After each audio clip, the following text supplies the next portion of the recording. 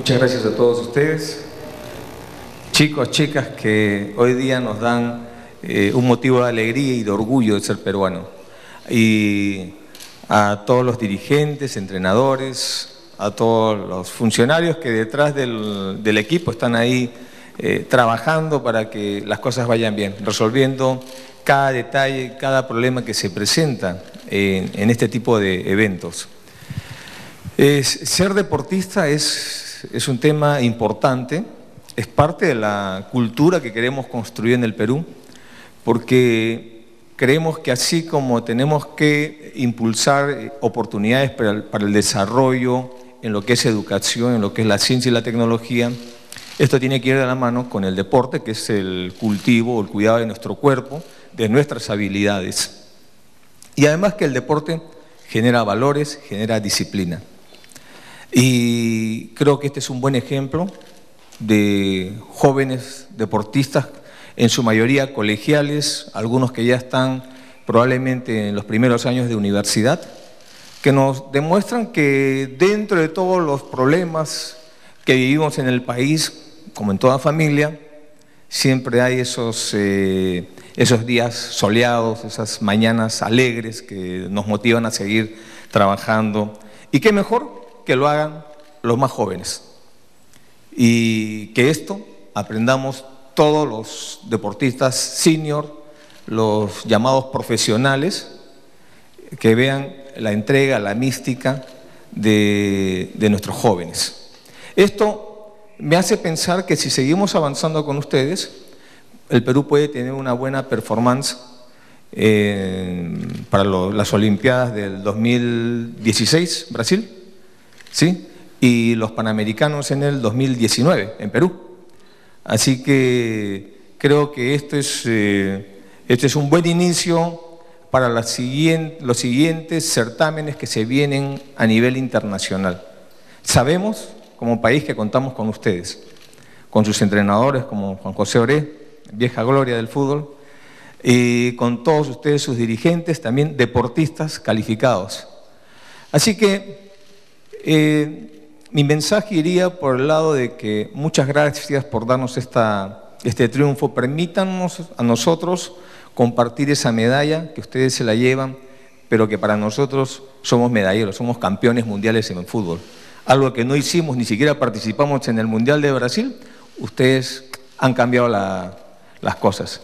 Y lo mismo para los otros deportes como el, judo, el badminton, vela, eh, las carreras de, resistencia eh, y tantas otras disciplinas en las cuales el Perú va avanzando con sus jóvenes valores.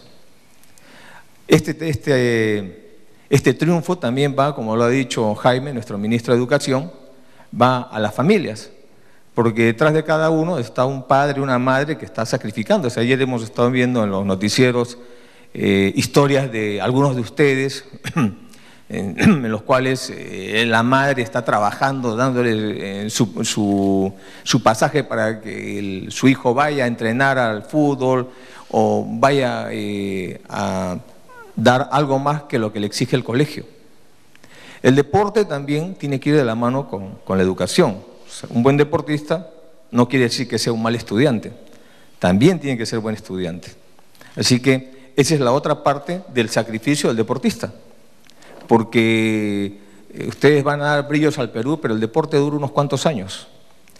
Después vienen nuevas generaciones, pero lo que ustedes cultiven en la cabeza, en el cerebro, eso les va a durar toda la vida.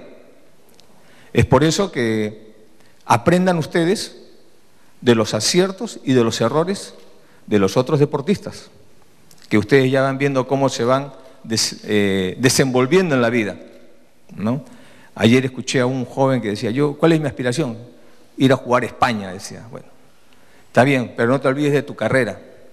Sé ingeniero, sé doctor o dentista, no te olvides de tu carrera. Y lo otro es que el peso de la gloria. Hoy día son campeones o medallas de oro, de plata, de bronce, y eso trae también el peso de la gloria. ¿No? A, uno, a uno de ustedes decía, acostúmbrate a los fotógrafos, ¿no? pero eh, si no saben llevar la vida con equilibrio, creen que ya alcanzaron la cima y pretenden volar solitos, se van a caer. Esto es solo el principio. Todo dependerá de ustedes de terminar como deportistas exitosos en el mundo o terminar en una situación eh, poco, poco importante eh, en, algún equipo, en algún torneo. Todo depende de ustedes. Eh, lo que hoy día han conseguido, si ustedes no continúan entrenando, el próximo año ya no lo van a poder hacer. Porque todos se entrenan. Y los que quedaron en segundo o tercer lugar o, o quedaron más atrás, quieren sacarse el clavo en la siguiente competencia. Entonces, esto involucra responsabilidad, involucra que mantengan este ritmo de entrenamiento, involucra a sus entrenadores, eh, soltarlos un poquito, pero después nuevamente ajustarlos para que entren en el ritmo del entrenamiento y no pierdan eh, este, training. y además involucra que una vez que terminen el colegio sigan educación superior. Es todo un, un sacrificio lo que están haciendo ustedes. Jugar fulbito, podemos jugar nosotros, yo juego fulbito a veces, pero la vez pasada me lesioné la rodilla. Eh, pero jugar como ustedes implica ya disciplina, implica dedicarle horas. ¿no? Eh, dominar la vela en el mar, uno lo puede hacer como deporte, pero de manera competitiva requiere técnica, requiere conocimientos, requiere disciplina, levantarse temprano, entre otras cosas y cada uno de los deportes que ustedes practican.